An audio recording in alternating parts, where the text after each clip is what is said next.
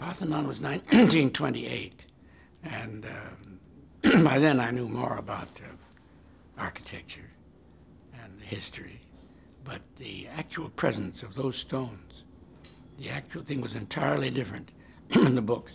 If you've just seen pictures of the Parthenon, you haven't the slightest idea of what it is.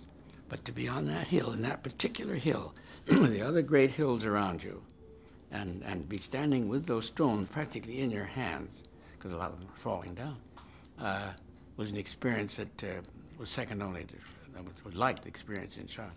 And I wrote an article at that time saying the pre-Parthenon Philip Johnson and the post-Parthenon Philip Johnson, because that was the strongest single point of my uh, learning about architecture.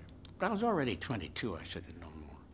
I should have known that in 22, 1922, when I was, I don't know, I can't figure it out, 17, 18, that I was going to do that.